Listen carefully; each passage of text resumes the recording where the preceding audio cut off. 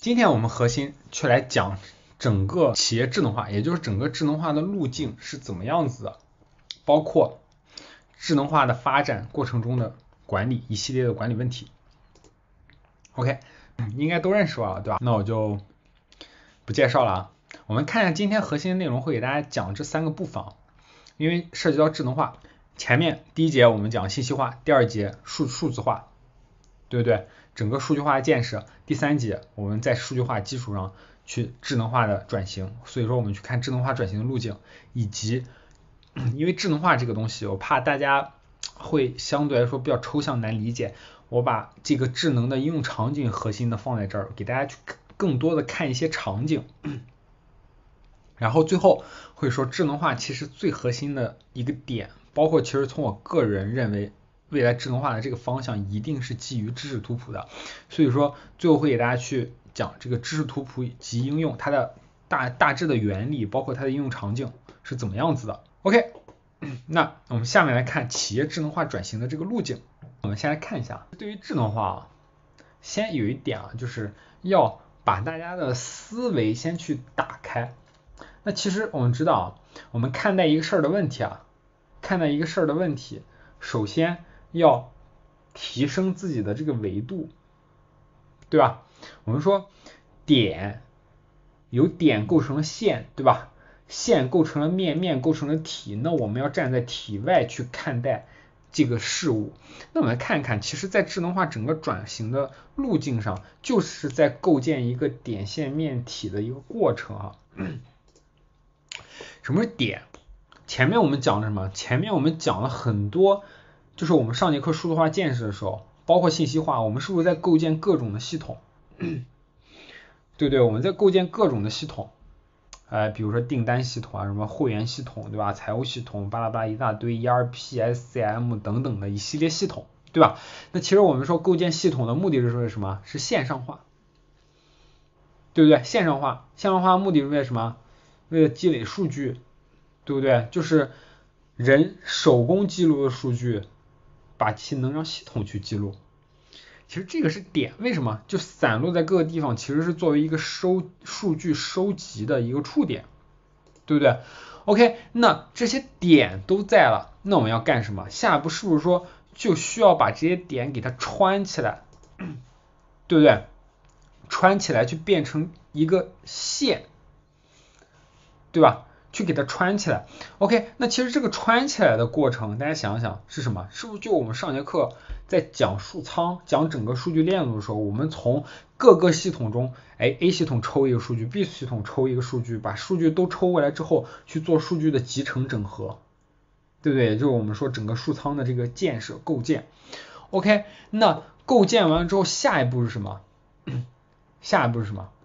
下一步其实我们是基于这些数据，然后去进行一些特数据特征的积累，也就是我们所谓的知识的沉淀。什么是知识？因为知识这个词儿是一个很抽象的东西，对吧？但是在我们整个企业中，如果站在一个企业当中，知识是什么含义？知识就是我这里列举的场景、特征、规则以及效果，这个就是知识。大家对场景理解吧？其实场景有粗力度、细力度，对吧？粗力度可能是甚至说某行业，那细的就是具体你工作中的这些场景啊，对不对？比如说，哎，我以风控去举例吧。比如说，你像风控，它也会分信贷风控的场景，哎，包括在一些营销内容上的一些风控，对吧？会有不同的这种风控的场景，那就是相当于说，我虽然都是做风控。但是其实我面向的场景不一样，那像你比如说一些内容的，可能就是什么违规词啊，对不对？那对于比如说信贷的，可能就是我骗我诈骗的，对吧？骗贷的，我的自身的信用不太好，或等等的，这都是细分的场景，对吧？那其实你会发现不同的场景，它会怎么样？我会通过一些东西去区分这些场景，对不对？那至于这些东西是什么，我们先卖个关子，后面再讲。然后特征。特征是什么？特征其实是一个比较泛词儿，对吧？特征，你比如说我们说人的特征，其实说标签就是人的特征。我们说用户画像其实就是人的特征。为什么？比如说你身为我们还以张三举例，对不对？那张三他常住地是哪？他的兴趣偏好是哪？对不对？包括甚至说他的身高、他的年龄，这是不是都是他的特征？对不对？这是一个人的特征。OK，那对于规则来讲，规则是什么？规则就是其实我们比如说在业务中一些流程上，我们哎触及这个规则，那我们基于专家经验去会去设定一些规则，对不对？就像之前。能举例的，那如果比如说 a 大于一，那往左走；a 等于一，往中间走；a 小于一，往右走，对吧？这就是简单的规则。那对于一些场景下，举个例子，我们说之前早年做花呗的时候，花呗的这个信，呃，我们说花呗的这个信贷，那比如说你的这个信贷额度。小于一千的怎么样，对吧？等于一千的怎么样？大于一千的怎么样？包括你的年龄，小于十八的你是不会有花呗的，然后大于六十五的你也不会有开通，不会给你开通花呗的，对吧？这就是业务规则，这有规则。那至于效果，效果是什么含义？效果就是你基于规则下所产生的结果嘛。举个例子，哎，我给这个，比如说九零后吧，对吧？我给九零后去推这个。嗯，我说二次元吧，对吧？发现，哎，推一些二次元的内容，他们这个偏好包括喜好，对这非常感兴趣，那可能导致的这个转化比较高。那最终，比如说他去购买这些相关的周边啊、相关的商品啊，对吧？他整个的转化会相对高一些。那你给八零后去推这些二次元东西，可能这些商品啊、周边啊转化非常低，这个就效果，对吧？转化低，转化高。OK，那这个东西它是作为知识去沉淀下来的，为什么？因为这些东西它的表现首先要有数据，对不对？刚才我说的效果，比如说通过转化率，通过这些指标去判定，它是通过数据表现出来的。那我们通过知识去沉沉淀这些知识，它有什么样的作用？它有什么样的作用呢？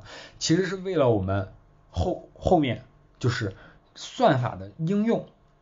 OK，其实我们去进行智能化转型的时候，第一点并不是说全面智能化，哎，我们比如说直接从数据化到全面智能化，我都不信，对不对？那所以说我们智能化第一步是要逐个点去击破，也就是说在你的业务中去找一些点去击破。举个例子，那对于电商来讲，可能搜索它就是一个智能化的点，对吧？我通过算法让其搜索的更准确，包括推荐个性化推荐，千人千面。对吧？推荐更准确，以及预测，我可能对于历史的订单，对吧？对未来预测，包括我去归因分析，哎，比如说我的指标波动了，那我是源于哪些维度，哪些其他的指标导致的，对对？算法应用的点，那最终我们会可以通过知识图谱的形式让其体系化。当然，知识图谱我们后面会。逐步的去讲，包括我们后面也会去讲这个算法的应用，每一个场景的点是怎么样子。这里先给大家一个大概的这个框架的这个概念啊。那知识图谱其实是我们最终实现智能体系化的一个一个载体。什么叫载体？因为知识图谱它本质上是在讲实体，就相当于说它把我们整个世界去抽象成了实体与实体之间的关系，包括这个实体属性。这样讲有点抽象，对不对？我给你举个简单的例子，比如说你，你是一个实体，对吧？人是一个实体，那你你的属性你就是个人嘛，对吧？你不是动物。OK，那比如说学校，对吧？学校它实际上也是个实体，那它的属性就是一个教育机构。对不对？OK，那你和学校的关系就是你是学生，对吧？你要去上学，你会发现我们其实整个的这个世界，我们生活的这个世界啊，虽然是说说的有点玄幻，但并不玄幻，就是我们通过实体关系和属性的方式，我们能把整个世界去抽象出来，对不对？比如说这个手机，对吧？这个手机其实你手上的这个手机或电脑，这个就是实体，那它属性它就是一个电子设备，它就是一个手机，对不对？那你你是一个人，那你和手机的关系就是这个这个手机是属于你，对吧？是你的电移动设备。那你会发现，你通过这些关系的建立，你就知道你和这个手机有什么样的关系，对吧？是不是？所以说以此把整个的我们现实生活中的世界去关联起来，就是相当于把实体和实体之间去建立关系。这个过会儿我们去以实际的 case 去来讲，OK，那所以说其实我们整个智能化的这个演进的过程，就是在点线面体的这个构建，对吧？最终体系化，其实也就是我们整个的体的这个构建。那下面我们在这个过程中，是不是会就像上节课我们讲的，是不是会运用到就是无所不用其数据啊，对吧？什么东西都会涉及数据。你会发现，哎，我需要用数据，比如说做特征，用数据做搜索、做推荐、做一些智能应用，用数据去构建这个知识图谱。所以说，我们在这个过程中去进行数据的中台化。所谓的中台化，就是把这些数据的能力去固化下来、沉淀下来，便于后续整个智能化的去应用。所以说，智能化的前提就是我们要把这些数据能力去沉淀下来。比如说产品化、平台化，对不对？我们数据开发的工具平台化，哎，算法的工具平台化，包括我们数据处理的这些平台化，对不对？我们要把先这些能力沉淀下来，打好基础之后，那下一步，哎，智能化的路上，比如说我要训练算法，对吧？我要进行这个数据特征的处理，我都会有一些相应的能力、平台产品去拿来直接去使用了。对不对？而并不是说啊，我想要我想要一个智能应用、算法应用，我要从头来一遍，从头采集数据、加工数据，然后最终应用，对不对？不需要，就相当于一步一步的，一步一个坑，一步一个坑。OK，那既然说到智能化，我们要要有所谓的演进的理论基础啊。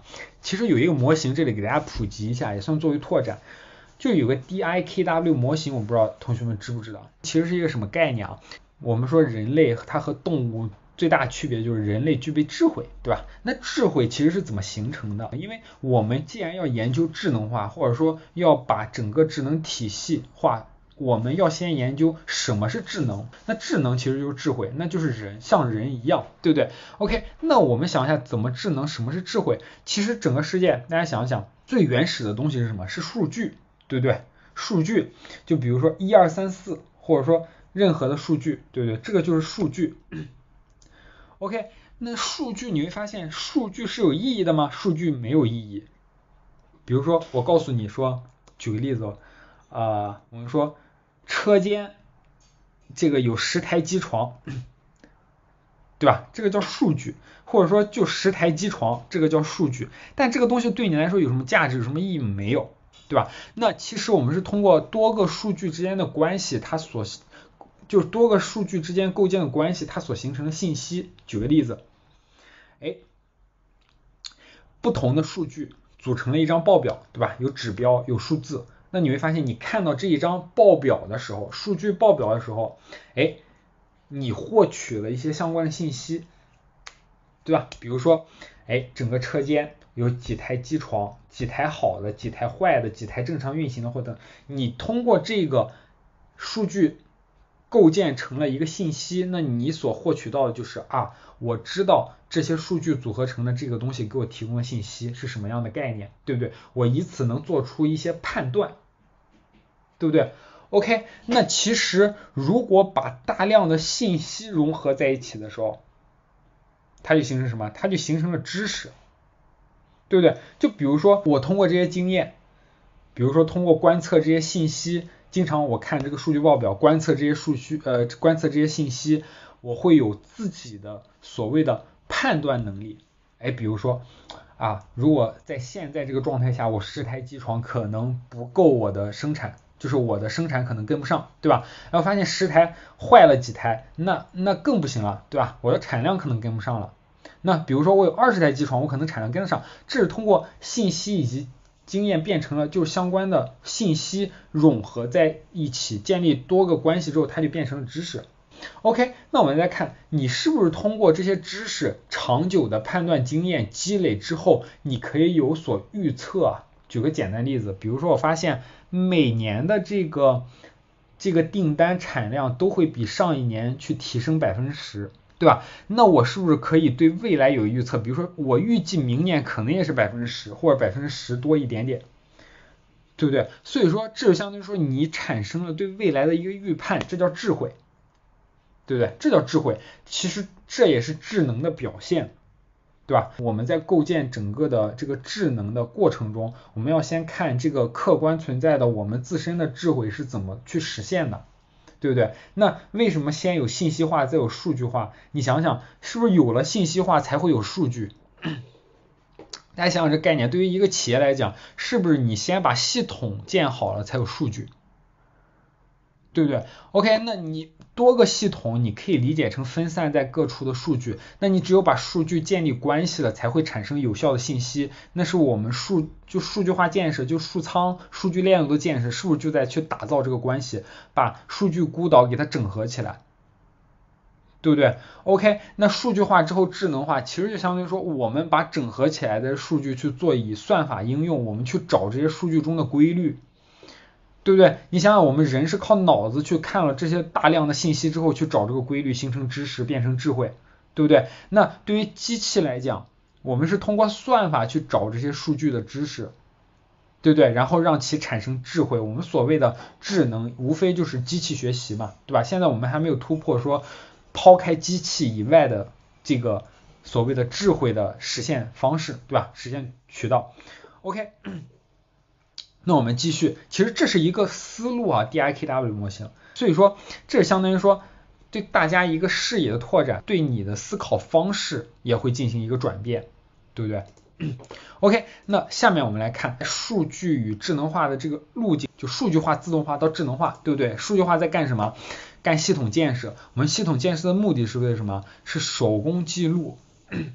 对吧？原把手工记录的这些东西变成线上的数据，所以说有了数据。其实这一步是为了什么？做数据的沉淀，对吧？有数据，有数可用。OK，那自动化，我所谓的自动化，它就是通过数据以及规则去让它自动执行的。比如说，我举个现实的场景，现在大家都都这个智能家居，对不对？智能家居比较火。那智能家居是怎么实现？比如说窗帘儿，对不对？呃，我们就以小米举例吧，小米这个做的相对好一些。比如说窗帘，它会设定个时间，对吧？你的那个所有的电器，你也可以设定开关机的时间。对，其实你本质上就是对对其这个进行规则的设定，对不对？比如说时间几点开机，这个就是规则。然后数据，什么叫数据啊？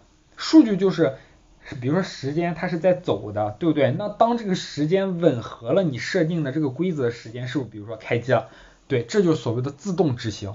OK，那这个数据就来源于什么？来源于数据化的系统建设，对不对？OK，那这个规则是什么？规则就是我现阶段规则，就是我们所讲的叫专家经验，对不对？什么叫专家经验？就是人工编写的。比如说那个小米的智能家居，你要设定。我几点开机，几点关机？比如说开运行几小时，对不对？这个就是专家经验。还比如说，我现在经验夏天，我的经验是夏天，呃八点七点黑天吧，好吧？那我七点关窗帘。那我夏天可能早晨五点半就天亮了，那我五点半开窗帘，对吧？这就我们所谓的专家经验去设定的规则，人工编写的。那自动执行之后，我们基于数据和规则自动执行之后。你会发现会有什么？这就相当于会有在什么样场景下的反馈。大家能明白这句话意思吗？就是什么样场景？就还是刚才以我这个这个智能家居的这个 case 来举例，就我们说夏天，对不对？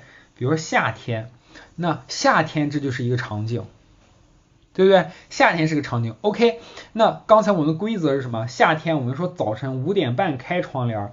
然后晚上七点半关窗帘，这就是规则。那我们通过这个执行了之后，然后什么会有反馈？这个反馈是什么？如果按我刚才说的这个场景，反馈可能就是人，人说啊，其实那个五点半那个天早就亮了，可能五点就亮了，对吧？这是一个什么反馈？这一个负反馈，就是他做的不太对，对吧？哎，那有些正反馈，比如说啊，确实是七点半黑天，这个黑天接着就把窗帘关死了。真的不错，对不对？这就正反馈。所以说你会发现，我们是不是可以通过数据和规则这个既定下，那它执行完了之后，它的效果反馈上来。那这个反馈是做什么？其实就是做我们后续的判断。那对于系统，对于机器来讲，大量的数据可以让它什么？可以让它知道它的规律，哎，比如说让他知道我设定五点半开这个窗帘和七点半关这个窗帘对不对？如果不对，我应该怎么样改进？是稍微提前点还是稍微放之后一点？对不对？那也就是说，这个所谓的反馈就是我们所讲的效果。那其实，在自动化的这一步，我们核心要做的是什么？核心要做的是场景和规则的沉淀。OK，那下一步智能化。那其实智能化，我们更核心的是在做什么样的东西啊？智能化其实就是在做匹配关系。什么叫匹配关系？就是我们要把基于数据之上的场景和规则进行匹配。那其实大家想一想，那我是不是说在这人工会编写一堆的规则，对不对？会编写一堆的规则。那你会发现，我是不是通过我什么场景下，比如说夏天的场景下，然后搭配什么样规则，比如说五点半开窗帘，那七点半关窗帘这个规则，那发现效果很好。那我是不是说，我通过此我总结出来，就机器总结出来啊，我一到夏天我的窗帘的开关时间应该是这个样子的，对不对？那本质上就相当于说我。机器通过效果数据，就通过它关开关窗帘的反馈，对不对？会有一个反馈机制，那开关窗帘的反馈，从而去判断它这个规则好不好，以及我知道是在什么场景下。其实说到这儿，我多说一点啊，其实大家在应用中很多的。比如说你应用的产品 A P P 什么的都会有反馈的机制。举个例子，大家应该都刷抖音吧？抖音是不是比如说你有让你去反馈你不喜欢这个视频，对不对？你不喜欢视频以及你喜欢这个视频，这个就是反馈，对不对？包括还有很多的这种类似于反馈的这种东西，比如说你刷淘宝的时候，你刷淘宝的时候，是不是你刷它那个橱橱窗，就是那个商品橱窗，有你如果长按。或者有时候滑动会有你不感兴趣，对不对？或者等等都会有这种负反馈、正反馈和负反馈，对不对？所以说就是在无时不刻通过反馈去进行智能化的一些训练。OK，那本质上智能化就是在匹配场景和规则之间的关系，对不对？那这个场景我们是怎么判断出来的？因为刚才我给大家说夏天，夏天其实是因为我是人，我知道夏天。对不对？但是对于机器来讲，因为因为大家要转变一个思路啊，就相当于机器如何智能化，而不是说我们人如何智能化。我们人本来就是智能的，对不对？我们人比智能还智能，我们人是具备智慧的，去发明智能的，对不对？那对于机器来讲，它怎么去判定识别场景呢？它是不是会有一些特征啊？那这些特征是什么样子？我举个例子啊，特征会有各种各样的。那比如说我还是以这个。前面我说智能家居夏天这个这个场景来说啊，那是不是说我一到四月份啊，四月份还没到夏天对吧？呃，六月份、七月份，七月份应该到夏，哎不对，七月份是夏天吗？一二三四五六，春夏春夏秋冬对吧？哦，那四月份应该是夏天对不对？那比如说哎，到了四月份了，那其实这个就是场景的特征，这就是夏天的特征，就四月就是夏天。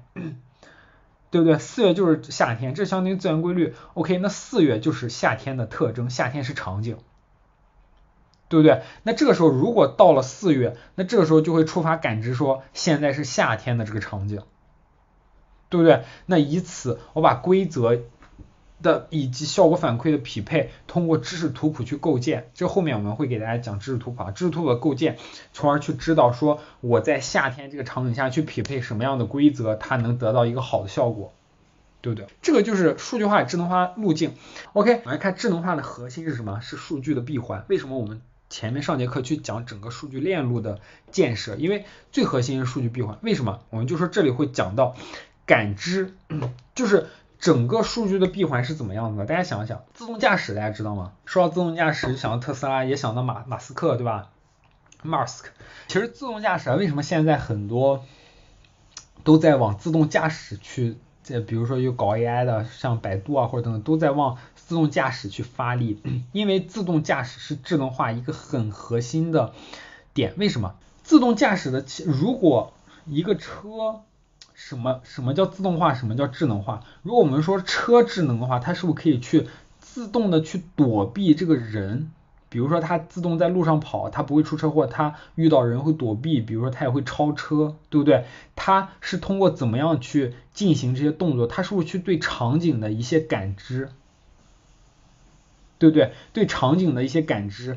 那自动化是什么概念？自动化是不是就相当于说你去玩遥控车？你去玩遥控车，对不对？你自己拿着那个遥控器，你去玩遥控车，比如说往前走、往左走、往后走，这个是全部都由你的指令去触发的，对不对？那对于这个车来讲，它是不需要感知什么场景？它只需要听你的命令就行了，对不对？就像你驾驶这个汽车，那其实这相当于说自动化，那你不用驾驶这个车就能开得好好的，这叫智能化。其实。有一点很核心，就是智能相当于说它可以自动感知当下是什么样的场景，以及去自动化操作，对不对？这个叫智能。OK，那是不是说，所以说我的第一步是去感知，对吧？那感知本质上是什么？感知本质上就是，比如说对于对于自动驾驶来讲，我就车上的传感器，对吧？那对于我们正常企业包括系统来讲，是不是前面我们讲数据采集？我们把相关的数据采集进来，为什么？我们通过数据再加上识别规则，我们是不是就能去感知这个场景，对不对？那比如说自动驾驶，那我们通过雷达识别上前面前方有人，那我的识别规则是只要有人我就需要去躲避，对不对？OK，那其实这就相当于说我对前面有人的场景做了一个判断，去感知，对不对？那这个时候数据感知之后，那我是不是能感知到具体的场景？因为它有场景的特征。举个例子，我们以比较具象的企业的实际的 case 去来看啊，比如说，哎，三个月未消费的用户复购，对不对？我们可以通过用户的行为采集进来行为，我们发现他这个人三个月没有消费了，对吧？他这个用户三个月没有消费了，然后三个月没有消费之后。哎，产生了复购的行为，对吧？又再次购买了，这个时候我们能判断这个场景，基于这些数据去判断这场景，对吧？包括在什么场景下用户支付的金额，这就是场景的一些特征。OK，那我们通过知道了这些特征之后，比如说针对于三个月未付呃未消费的用户，让其产生复购之后，我们通过去执行一系列的规则，就基于场景规则，比如说。对他通过什么渠道的方式去触达，包括触达频率是一周一次还是三天一次，以及有什么有创意的文案，对不对？有什么样的素材，包括对其的处置方式，对不对？对其处置方式是怎么样子的？然后去实际执行，执行了之后，它其实会有什么呀？会有所谓的执行效果的反馈，对不对？就是我说了所谓的效果以及反馈，比如说，哎，我们通过这里的规则创，比如说对它的素材创意的素材，然后触达，然后包括什么样的频率，这些实际执行了之后，哎，它有没有产生转化？那这个时候我们比如说它没有产生转化，那这个就是所谓的负反馈，对吧？我们通过负反馈，哎，去来返回这个所谓的执行规则的这个这个这个决策的地方。从而去变更规则，对不对？变更规则，因为它没有产生正的反馈，就没有产生转化，对不对？OK，那如果产生正的规则，你会发现这整个一条路走下来了，然后形成闭环。什么样闭环？就是我这个反馈，从而能让机器感知到，当然是大量的数据，对吧？能让机器感知到什么？能让机器去感知到说。我在这个场景下，我用了这个规则，执行了之后，它的效果很好，对不对？来想想，所以说它形成了整个数据的闭环。简单来讲，就是我在什么样的场景下用了什么样的规则，然后产生了什么样的效果，那以此我这个效果是正反馈还是负反馈？如果是正反馈，哎，它就代表是一个好的。所谓的一个好的处置方式，对不对？如果负反馈，我需要去变更我的处置规则、处置方式，那从而积累了大量的数据之后，通过算法的训练，我是不是就能去知道什么样的场景下，我以什么样的规则会带来好的效果？那所以说，在整个过程中，你会发现，数据感知过程、数据沉淀以及结果数据沉淀，这个是我们所核心，智能化的核心，对吧？通过数据闭环，我们去把这些数据沉淀，从而去训练算法，才能产出有效的所谓的模型，对不对？你说整个过程其实就是在做知识的沉淀，对吗？那我们后面来看一些智能的应用场景，啊，这个会更贴近大家的认知一些啊。OK，那其实说到不管是整个大数据领域也好，还是智能化领域也好，其实应用最成熟、相对成熟，包括会推动数据以及智能发展的行业有两个，大家知道哪两个吗？一个就是营销，一个就是风控。我们现在看一下营销、自动化以及智能化，这里你实际的 case，大家可能更容易感知和理解我说到的自动化以及智能化的区别。首先，我们先来说一下营销。既然说到营销场景，我简单给大家介绍一下，因为我知道大家各行各业，对吧？各行各业不同，那我先简单说一下营销大致场景抽象成的有什么样的东西。其实前面也有说到，营销最核心是什么？就是这几点，人，对吧？我给什么样的用户，就什么样的人，这里我们所谓的人，然后自动化什么含义呢？就是。前面我们有讲到说，我们可以对自己的用户群体数分成好几类，A B C D E F G 好多类细分，对吧？比如说购买力强的、购买力弱的，然后北上广的、二线城、三线城市、四线城市的，对吧？下沉五线以下下沉城市的，对吧？等等的，可以分群。那其实就是在不同人以及所谓的基于这些人身上的这个运营流程，比如说。我给一线城市的人去推什么样的活动，然后有什么样的奖励，对不对？以及它的转呃触达方式，发短信、打电话还是怎么样，频率怎么样子，对吧？OK，那包括对低线城市是是怎么样子？我可以通过自动化去设置它运营流程。那包括哎，我要给人去推素材以及内容，对不对？然后所去促成用户的转化，对不对？OK。那我们分别来看一下，其实本质上人所指的就是我们对客户进行分层，所谓自动化，MA 就是 Marketing Automation 啊，就是指的运营流程自动化，对吧？那以及素材内容的匹配关系，这是营销自动化所核心的几个点。那我们首先来看一下人相关的，对人是干什么？就是圈人。刚才我们说到用户的分层，对不对？我这一个实际的 case 给大家看，什么叫圈人？就是我们通过比如说不同的用户属性，以及不同的用户行为，甚至说行为序列，去把一群人圈出来。对吧？比如说年龄等于多少的，用户行为要满足过去三十天，比如完成购买大于等于一次的，对不对？行为序列，什么叫行为序列？简单来讲就是他先干过什么，后干过什么。比如说他先看过 A 网页，后看过 B 网页，这就叫行为序列，他要满足这个，对不对？OK，这就是圈人的基本概念，对不对？OK，把人圈出来，其实刚才说的这就是圈人，正常的我们说营销运营的圈人，人群的分层就是通过那样去分的。那我们对于圈人的场景下，如何去进行智能化的改造或智能化应用？前面我们有讲到什么？智能体系化的前一步是在某些场景、某些流程中进行智能化的应用，对不对？OK，那我们看在圈人这个环节，其实就有两种，包括呃不止两种啊，就比较典型的两种的智能化相关的。这个优化包括应用，第一个就是所谓的智能圈人，这个智能圈人是指的什么？我们可以基于效果的人群特征，然后从而去选择性优化，就相当于说，比如说我们需要把转化率大于这个万分之一，对吧？对吧？这些哎人圈出来，就相当于我不去基于特征了，就比如说。性别、年龄，而我直接通过效果去进行圈人，那这个就相当于说我通过算法对历史数据的训练之后，那从而我能知道哪些人、哪些特征的人，他的这个转化率会高一些，对不对？这个一会儿我们给大家看实际的场景 case 啊，然后 look like，我们先简单说一下这两个场景。look like 人群放大，人群放大是什么含义？就相当于说我们需要把有相似特征的人群去进行扩充。比如说我可能实际有一波种子人群，这个种子人群就是我的高转化人群，但是它只有一万人，对吧？那我但是我的这个用户群体，我的用户池它可能有一个亿。对吧？一千万一个亿，我需要把这些种子人群在我这一个亿中找出来与这个种子人群相似的一群人，然后去比如说做营销啊，做转化，对不对？OK，那这是两个场景，那我们下面来看一下每一个场景一些具体的 case 啊，以及它实现的原理怎么实现的。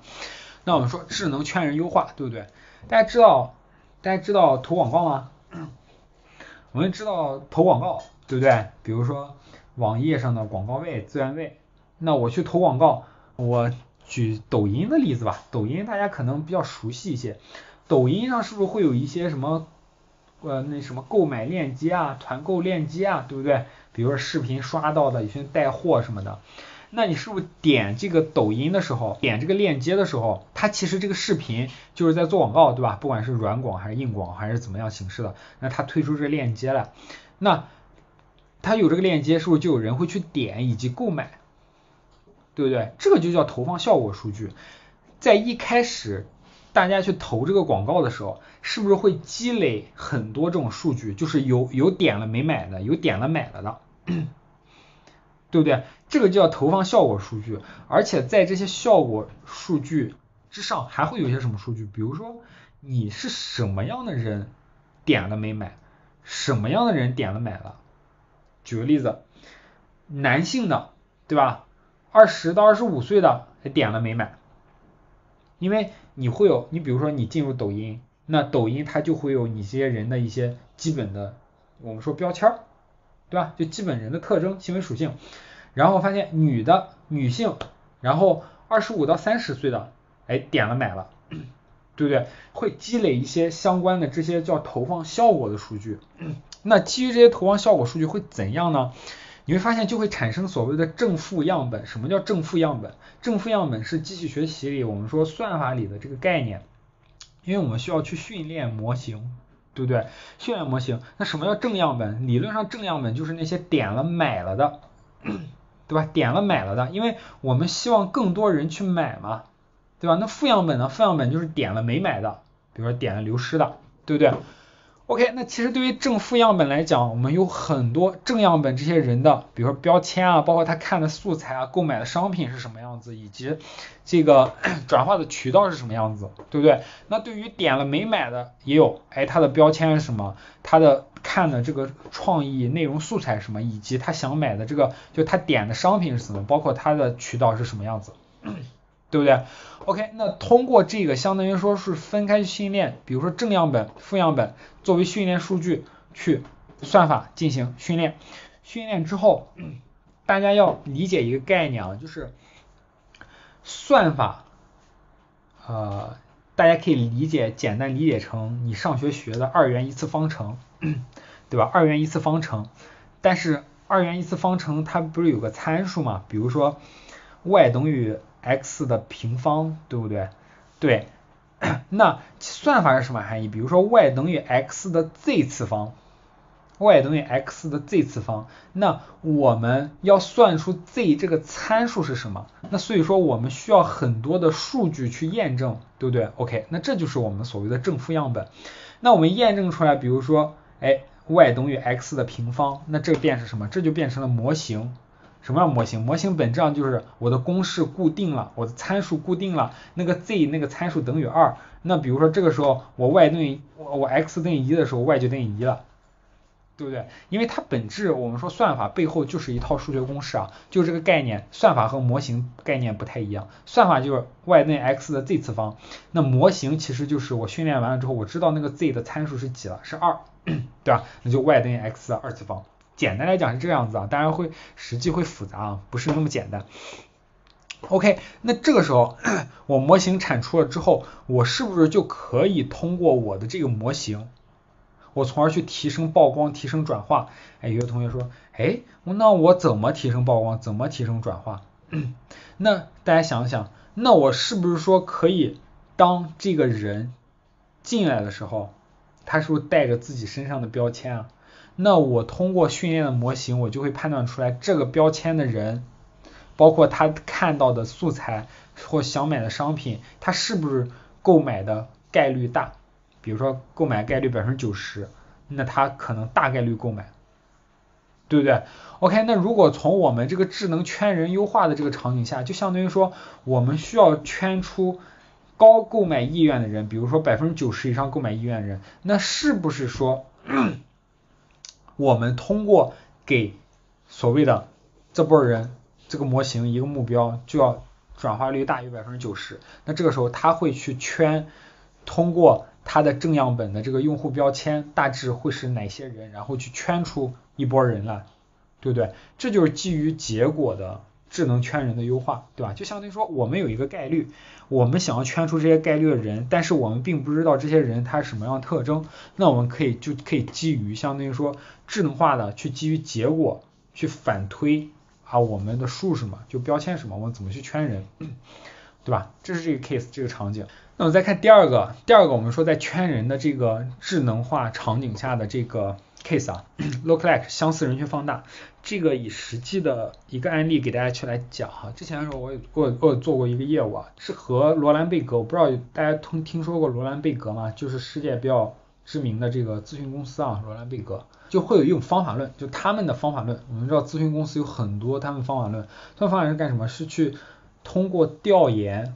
去判断这个人的价值观，那本质上简单给大家讲一下本质逻辑啊，本质逻辑就是我会给一波人，比如这里写到，比如说给十万人去发这个调研问卷，他调研问卷其实是很多题目，然后题目对应的分值哈，就是每个人对题目对应的分值，就比如说举个例子，你你喜欢什么什么嘛，然后有一二三四五六七七八几个分值，然后让让这个用户去答，OK，那去通过实际的。这个客户的调研，去让他打分，那基于他整个的调研问卷，从而去判断这个他自身的心理价值观，有二十多个心理价值观啊，比如说这个追求高质量的、尊贵的或者等等的啊，这里就不阐述了，会有价值观。OK，这十万人相当于说是以实际的样本，就客观实际的样本调研回来的，对不对？就真实的客观存在的数据。但是大家想想，这个其实你比如说对于一个企业，对于一个公司，它内部它可能有几千万上亿的人，对不对？因为它为什么去调研十万？因为十万只是从成本角度考虑，你不可能全中国十四亿全调研了，对不对？OK，你可能有。这个十四亿人的一些行为数据，但是你不可能去给这十四亿人全部调研。那这时候你调研十万人，调研十万人干什么？我把这个调研数据拿回来，然后呢，去做人群放大。怎么去做人群放大？大家想想，我调研这十万人，这个十万人在我们自身企业内部的数据里，是不是有其行为数据？也可以理解成有标签，对吧？基于行为数据打出来的标签，OK，有标签，标签就是特征。那我们是不是可以通过这些特征进行相似性的，在我们已有的数据里放大？就简单来讲，举个例子，我再举个简单例子，比如说男，二十到二十五岁的，我发现他价值观，比如说对于这个尊贵而言吧，他价值观。是处于比较高的，就或者说他对这个尊贵的这个倾向，或者说他自身的这个感觉是比较好的，对不对？通过分值总结出来的。OK，那对于这个东西，我是不是说可以简单来讲，就相似性的就从，比如说这十几亿人里，对吧？我们自身的行为数据里或者标签里去找。哎，男二十到二十五岁的，当然放大他会去模糊特征啊，就不会说我就单纯的把男二十到二十五岁的人拿拿出来，而是说他综合考虑很多特征，从而去判断啊这两个人是相似的。那既然这两个人的特征基础属性是相似的话，那他就把 A 身上的价值观去赋予给 B，对吧？就虽然说 B 我没有做实际的调研，那 B 我也可以说他是尊贵的。对不对？就是这个概念。所以说，把少有的十万人会去放大到两千万人身上，对吧？就是通过这种特征相似的，哎，去把他身上的属性去转移，就相当于说，你可以理解，哎，你和我很相似，那我有的，哎，兴趣偏好爱好，那你也可能去有，就以此，就这种逻辑。OK，所以说就未调研的人身上，那他身上就有了所谓的价值观的继承，对吧？OK，那他继承了价值观之后，通过聚类的方式去划分了不同的人群。这个聚类是大致什么概念啊？这会涉及到人群的聚类。刚才我说到，它其实是对价值观的打分，对不对？就是它其实会答题，然后对价值观打分。那其实它在放大的时候，就给那些没调研的人去放大的时候，它其实也是把这些分值去赋予给这些人身上的。就理论上，它每个价值观都会有分值，比如说一到十分，对吧？它都会有分值。那它其实也是每个价值观的分值去赋予给这些相似的人的身上的。OK，那这些相似人分值，那它其实分值是会有这种，就是它的分值其实是会有这种，我们通过空间向量，然后通过无监督的学习，会知道什么？会知道分值间就是这种相似，你可以理解它的分值非常接近的人，就比如说，哎。有一群人分值非常接近，另一群人他们分值比较接近，对吧？那以此去分出了这么八类八类人。大家看啊，其实我前面说到的心理价值观，就像这种叫红蓝图，对吧？就是红蓝图上它会有二十六个价值观，比如说蓝色越深蓝的是它倾向性高一些的，然后红色是反对的排斥的啊，越红就深红就是越排斥的。OK，那其实你会发现，就是有一类人，他的价值观的分布，你可以理解这个图的样式，它就很类似，其实就相当于聚类嘛。OK，这一群人他比较相似，所以说我给他聚为一类，算作一类人。那以此这种相似性聚出了八类人，也就是说基于这些人去分出了八类，对吧？那其实相当于说我经过了从根据客观的数据，从而去放大到。我没有调研的这些人身上，那基于这些所有的这些数据，然后再通过这些分值的相似性，大家可以看图，比如说图的接近，我这一类人这个价值观的这个图都长得差不多，其实就分值的接近，然后把它归为一类，这叫人群的聚类。我们说聚类算法，那其实你会发现很多。类似的人群也好，或者说这种人群分层分类也好，都是基于此去做出来的。比如说举个 case，天猫也会有自己人群划分，对吧？天猫也是划分了八类：新锐白领、资资深中产、精致妈妈、小镇青年、这个这个这个 Z Z 时代的人、都市银发，然后小镇中老年以及都市蓝领，对吧？这个也是通过就是天猫和贝恩，然后贝恩也是个咨询公司啊，他们去。相当于对这总结出来，其实本质上它背后也是对人群的聚类，只不过他们这些属性都比较相似的一群人在这儿。那我们大致就是这群人，包括它的分类啊，我们看看啊，大致比如聚类算法，这个大家都会拓展了解一下啊，拓充你的视野。聚类算法其实是有很多的，那我这这里给大家举个 case，比如像 K-means 这种这个聚类算法，这也是比较。比较常见、比较基础的，它大致的原理是怎么样子？我简单给你讲一讲。首先，其实对于比如说无监督学习啊，因为这聚类它不是说像我描述的，哎，我们这个人身上它有很多特征，年龄、性别、属性，我直接通过规则就去把这个判断出来，而是说它会把，比如说刚才我说的分值，它会构建空间向量，这个东西大家高中应该学过向量嘛，对吧？就是两个点，两个点就在坐标系上。之间的这个距离啊，这个二维的这个向量，这个大家应该知道，对不对？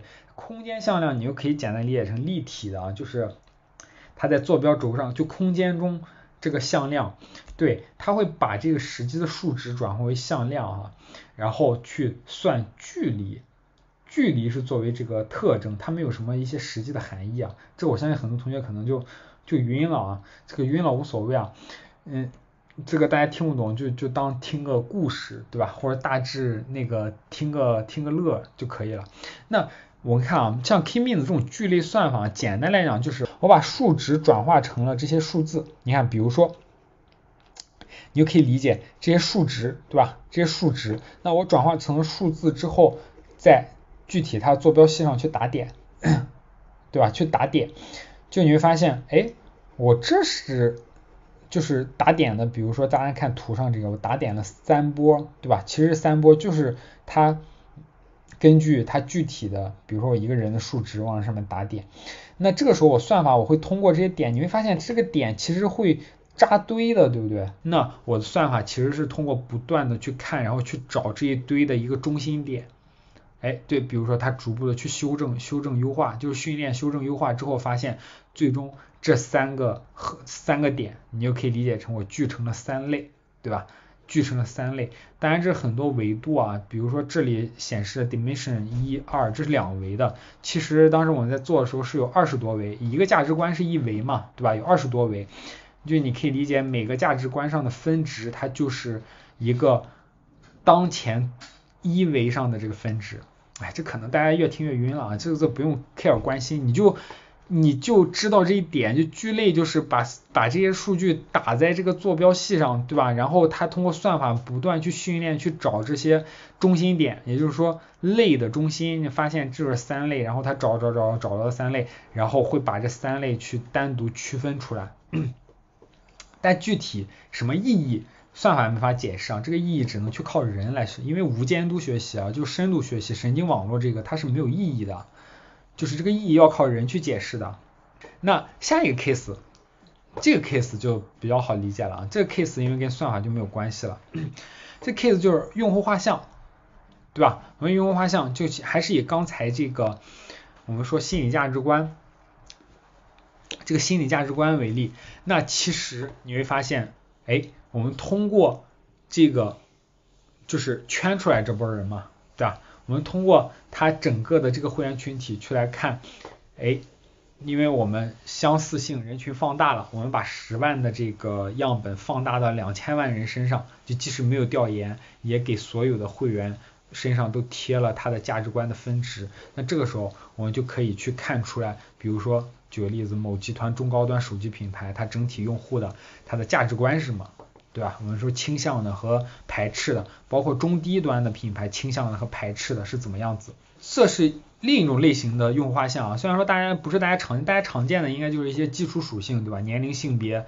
这个地域之类的，OK，这种也是算用户画像，啊但是它就是和大家常见的不太一样，它是以心理价值观，OK，那前面是讲了圈人，对吧？圈人的 case 包括场景，我们下面来看 MA，我们说的自动化，那这里就是我所前面所指的自动化，我们说 MA 叫 marketing automation，就是营销自动化，简称 MA 啊，营销自动化是什么？我给大家这里截了这个图，这个就是一个。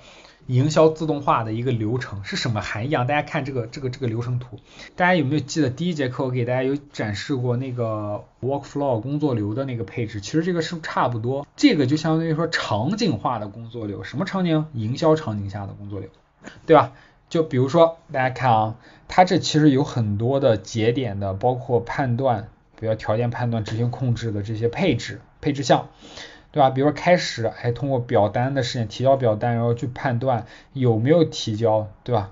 哎，比如说六个小时内提交了，如果是的话，就微信回复他，然后这条分支就完了。如果没有，那微信回复再判断六个小时内如果有微信回复叭叭叭结束，如果没有再等等待到什么时候再微信叭叭叭，对吧？这就是一个运营流程、营销流程。那这里我给大家举了这个 case，比如说 当注册用户。哎，我们挑百分之十的注册用户放到样本池里，它最终目的是为了它转化嘛，对吧？新用户注册之后给它促成转化。OK，放到样本池里，比如说静置观察几天，看它会不会自然转化。如果会自然转化，就完成我们的目的了。哎，没有自然转化那波人，我们进行 A/B 版的营销计划测试，我们说 A/B test，对吧？一波人去 A 版，一波人去 B 版。然后再静置观察几天，静置观察几天之后营销转化，哎，如果转化了的，对吧？完成了我们这个这个流程。如果没有转化的，去 C 版再给他一轮营销计划。没转化的我们就不管了，对吧？流失了，当然流失了，未来也会有一些相应的这个这个这个动作，对不对？那转化的就完成了，对吧？你看这也这这也是一个营销的流程，对不对？OK，那在这个流程。为什么给大家看这个流程？因为这里面想讲的就是我们在这个流程中也能找出很多智能化的点。什么智能化的点呢？比如说，哎，这中间会涉及到什么？A/B test，对不对？A/B test A/B 版，那是不是说我能通？因为 A/B test 正常它可能有些指标，我通过人工去判断啊，可能 A 版好一点，我以后就用 A 版了，就以后的经验积累。那这个时候其实我是不是可以把它智能化改造？就我不需要人去来去来判断了，我直接通过机器，对吧？我通过机器去来判断啊 A/B 版的优优劣。对不对？那至于算法训练或机器学习学习方式，前面我们已经讲了，大篇幅在讲了，对不对？那这个点其实可以智能化改造，我通过算法去进行智能化的一些，就我把历史数据学习进行智能化一些决策判断，对不对？OK，那包括在这个地方观察一天，我也可以可以进行智能化的去分析。对不对？比如说去进行归因分析啊，它为什么转化，对吧？转化是由于哪一些？转化到底是由于营销计划，还是因为它就是到这个节点，还是因为其他的因素，还是因为渠道或等等的，对不对？那其实你会发现，这环节中我们也可以逐步的，就是逐个点的去进行一系列的智能化的改造，对不对？OK，那下一个。Case 给大家想去给大家看的就是素材与内容。我们知道营销一定少不了素材和内容，就是你看到的东西，对吧？海报啊，什么东西的，商品啊，素材、详情啊之类的。那其实这里的智能化就是我素材与内容的智能生成。就今天给大家讲 case，然后还有一块就是活动与素材匹配关系，对吧？那怎么呢？我们就直接来上图看图。这是我实际给大家去去那个。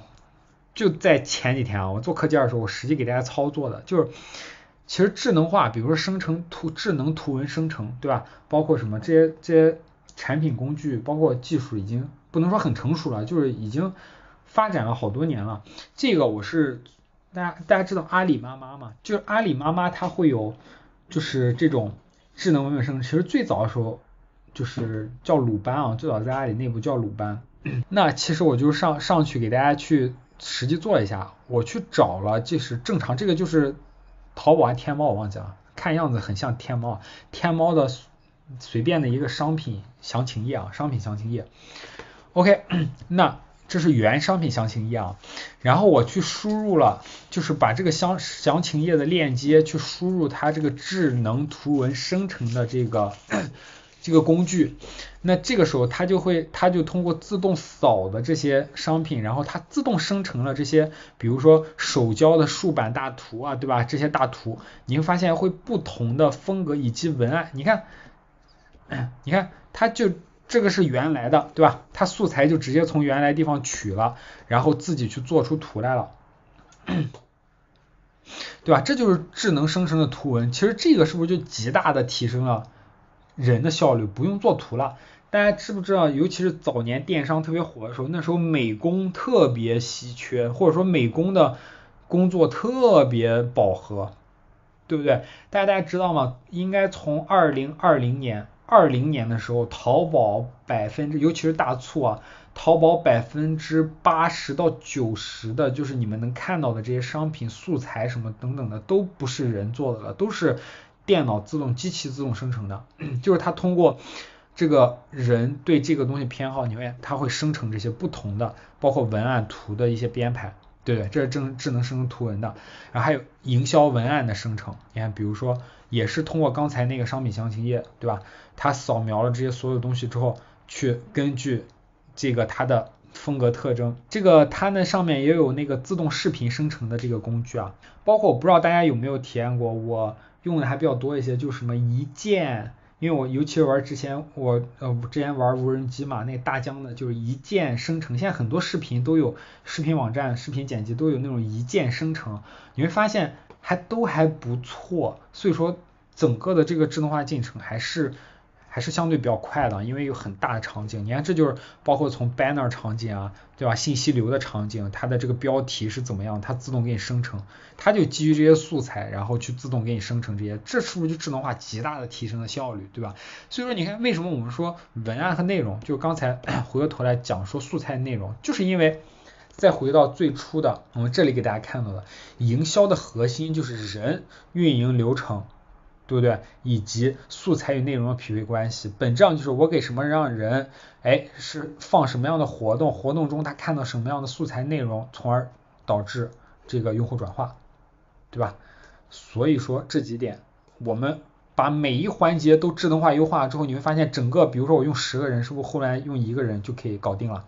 是不是极大提升了企业效率以及速度？像这种生成是瞬一瞬间的事情，对吧？你要人美工作图再快，它是不是一张图也要半分钟一分钟，对不对？所以这就是一个效率一个质的提升，对不对？OK，那前面都是我们说逐个点的这个智能化，那后面我们再看整个智能营销的体系，我们站在我们说点线面体，对吧？整个智能化的智能营销体系是怎么样？其实本质上，我们整个智能营销体系。当然，先从流程看起，选定目标人群，对不对？然后创意匹配，对吧？我对这些目标的群体干什么？相应的文案素材的匹配，就什么样的人看到什么样的东西嘛，对吧？比如说零零后就让他看二次元，八零后就让他看这种母婴，对吧？婴幼儿产婴幼儿商品，对吧？创意匹配文案素材，包括前面我给大家说 case 这里。多说一点，拓展一点，就是刚才给大家说到红蓝图心理价值观，对吧？OK，当年做实验的时候，其实有一款奶啊，我给大家实际说个 case，就有一款奶，它当时奶最初的这个，就是我们说海报啊哈，海报的设计是打那个便宜，就是啊这个这个这个东西，嗯这个这个。低价，对不对？然后怎么怎么样，上面写的。但是其实通过用户画像分析出来干什么？其实人就是喝这款奶、买这款奶的人的属性都是这种尊贵的，就是比较高贵一些。他注重质量、高品质、质量，这是他们就核心这些人的特征。那以此我们判断出来什么？就判断出来他这个素材要改变，怎么改变？变成。哎，他不去强调价格便宜了，而是去强调什么来源于什么什么草原，对吧？然后又是怎么怎么无污染，怎么怎么质量好，就全程不强调价格，而是强调品质，从而去提升了，我记着两个多点的转化，提升了，就是提升了百分之二十多，然后在转化率上基本上从千几达到了。已经上升了一个十分位啊，达到了百几，我具体我忘记了。所以说，就相当于说，对不同人群，它匹配搭配的文案素材不一样，导致它整体的转化是不一样的，对吧？包括投放的渠道，因为不同的人他看广告，包括喜欢接受广告的渠道不一样。渠道什么？有些人喜欢看短信，像我这种短信的那个小红点都几千条了。对不对？我不会翻，可能大部分人都不会翻了。那有些人 他就喜欢看邮件，比如说老美就喜欢看邮件，对吧？就老外，比如有些人哎，他就喜欢看 push 这个这个 app 的 push。所以说不同的渠道不一样，有些人就喜欢看电视广告，就喜欢去网页资源位啊，投放渠道不一样，然后再选择哎，我基于这些效果的数据回流。对不对？然后进行效果分析，你会发现再生成闭环，基于效果分析干什么？分析什么？分析用户行为，分析用户画像，分析转化效果。那基于此再去对下一步进行目标群体的选择，就人群的优化。其实你看，就是这个形成了数据的闭环，对不对？形成数据的闭环，然后基于这个效果分析，从而再次优化素材匹配。像刚才我给大家举的这个 case，是不是就是真实的？这个优化的一个心路历程，对不对？然后包括哎渠道归因，我发现转化的人都主要通过哪些渠道来的？那我以后核心主要投这些渠道，对不对？OK，那所以说你会发现，我可以通过效果分析去对整个我的营销模型去进行优化。哎，简单来讲就是，比如说本来去投了二十五岁到三十岁的男性，投那个然后奖励是那个游戏奖品，对吧？通过做游戏会获得一些奖品。然后 短信，通过短信方式，那通过优化完了之后，我发现，哎，叠加互联网属性会更好一些，包括不不玩游戏了，直接领券，然后我通过 push 的方式，OK，那接下来我们来看这个销售场景啊，CRM 的这场景，搜超 CRM，我们给大家多看一些场景啊，这。就是销售，呃，我们说 CRM 对吧？S CRM 就是 social 的意思，就是社交嘛。我们可以通过比如说微信的这些好友关系的分享，从而去促进销售啊，促进客户关系管理。那一般比如说 CRM 会有，我们说销售会有销售阶段，对不对？但这个阶段不是说所有阶段都这个样子，我只是给大家举个 case，对吧？哎，进入线索，对吧？线索池。比如说市场通过一些广告啊或者 SEO 啊 SCM 去这个获取线索放到线索池，然后销售进行首次接触，然后有意向了线下拜访，然后对高然后可能产生高意愿，最后成交了，这就一步一步的所谓的转化流程，对吧？它会分阶段，我们说的转化阶段。那 讲这个像 SCM 场景，我给大家看看一些。具象一点的，这样让大家有点体感啊。比如说 SCM 长什么样子，这我们一般说的这个销售管理就是 CM，但 SCM 就是贴合，比如说它可能会有就是社交的这些场景啊，微信啊，它通过分享这些文章、表单、白皮书啊等等，让和你通过比如微信生态，然后和客户产生关系更密切的关系或更频繁的关系，从而促进转化嘛，对不对？OK，那包括。比如说，这是具体的一个客户，他有一些客户资料，给他打标签啊，一些基本信息，对吧？包括他的动态，以及他在当前阶段，看这个就是阶段，对吧？不同企业它有不同的阶段啊，然后还可以通过这打电话，对吧？对外呼、外呼打电话，包括等等一系列的，或发短信啊、发微信啊，或等等的，对吧？通过这去管理客户关系嘛，其实本质啊，包括去记录。OK，那基于这个场景下，我们来看一下。就是两个智能化的优化，就是我们可以怎么样？我们可以通过成交的用户画像，大家想一想，我们上节课有讲到说标签，对不对？整个数据建设标签，OK，那我们是不是可以把给成交阶段的用户去打上标签之后，我们去看成交阶段的用户画像是长什么样子？那以此，我们前面比如说我们举的这 case。这里有个线索池，对吧？那我们可以把线索池里所有线索都打上用户画像，从而去知道我们的哪些潜客的线，哪些线索是我们的目标潜客，对不对？哪些线索是我们的目标潜客，就相当于通过结果去推导我们需要哪些线索有更高的这个成交意向，对吧？这也是一个 case 一个点，包括我们可以通过智能化进行线索评级。什么含义呢？就是理论上，我们 CIM 中管理的是销售线索，我们希望成交的越多越好。包括其实可能线索很多，销售来不及去挨个去成交，那当然优先高意向的嘛，对吧？那基于高意向，是不是说我们可以通过他们有通话，对吧？我们可以把成交用户的通话样本数据，然后通过语音转译啊、NLP 分析啊、分分词啊、情绪分析啊等等的，对不对？然后去转译出来。包括其他阶段的通话数据的分析，去进行成交概率的预测，对吧？这也相当于就把语音转化成文字，然后包括情绪的分析，然后包括各个阶段的通话数据分析，去进行成交概率的，就这个客户这个线索成交概率预测，从而给他一个评级，比如说高中低，然后让销售做以判断。对不对？这个相当于说通过智能化去帮助他去帮助销售进行更好的工作。OK，这是场景 case。然后后面我们来看知识图谱及应用啊。下面讲一下知识图谱，就前面我们一直提到说整个智能的体系化。我们先看一下什么是智能图谱啊？叫吧，sorry，知识图谱啊。其实知识图谱本质上它。就是通过三元组表的方式，现在核心主要的这个场景是通过三元组表的方式去表述出来。什么 SPO 就是实体关系属性，实体和实体之间的关系以及属性，什么含义呢？比如说 人物，对吧？它有一个人物一，那它的姓名是它的属性，叫小名。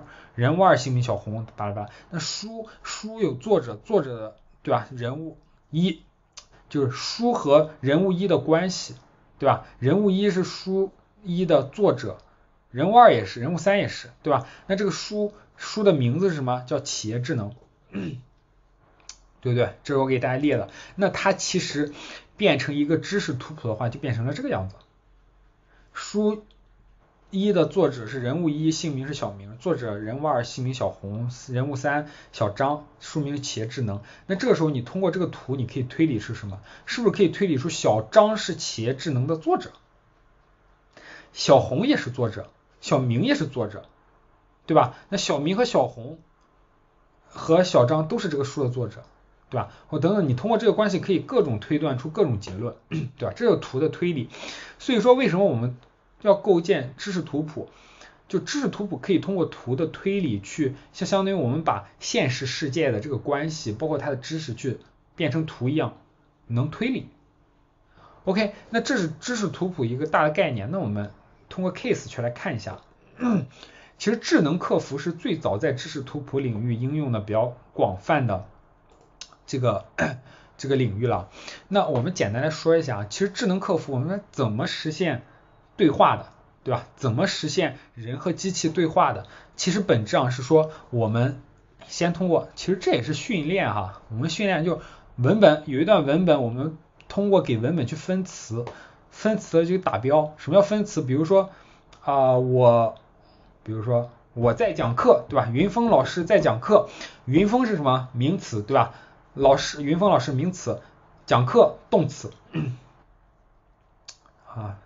云峰老师讲在在讲课，讲课是动词吗？差不多啊，我这个我这个主谓宾真的不太很好，差不多。比如说。云峰老师在吃水果吧，吃是动词，对不对？然后水果也是名词，那其实分词就是相当于说把这些词性分开之后打标，打标就相当于比如说云峰老师是名词，水果名词，吃是动词，对吧？打上标，然后其实形成知识库，包括有些比如说愤怒啊，不不，比如说。呃，举个例子，哔哔就一句骂人的话，然后他其实表示是愤怒的情绪，这个相当于说是他的知识，对不对？那其实它最终是录入到知识库里，知识库大家也可以简单理解成什么 FAQ 啊，对吧？就是一问一答。那其实这个知识库也可以是人工录入的啊，也不一定是完全是由这种通过文本分词，然后通过其打标形成的。那包括其实前面我说的分文本分词打标这个过程，可以是人工，可以是算法，就是最初肯定是人工的，对吧？我们人先把这个句子分词，然后什么样的词性去标记上。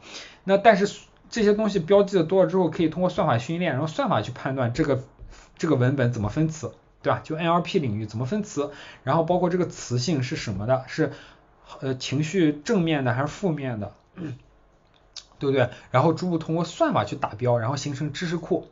那知识库通过知识和知识库之间的关系变成了知识图谱。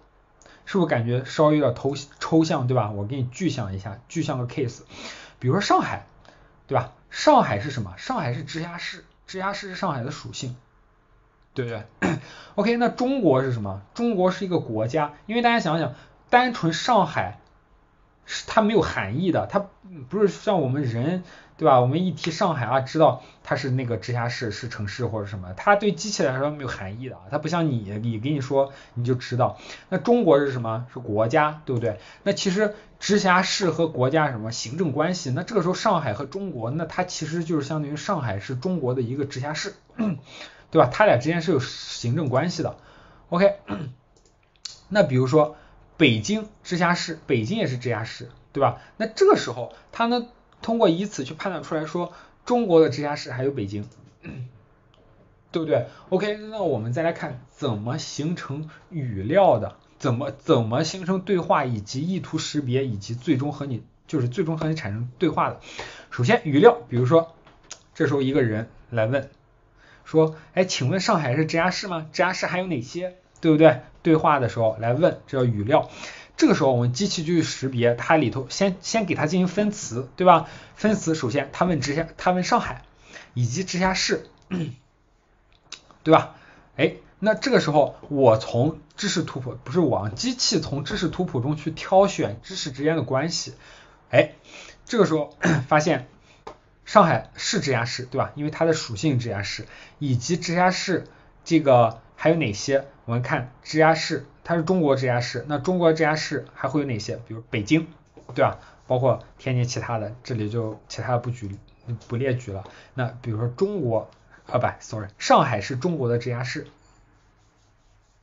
对吧？然后以及直辖市还有北京，对吧？天津以及重庆。然后其实知识图谱刚才只是举了 case，知识图谱有很多的应用，比如行业的知识图谱，像这个新冠的图谱，比如说。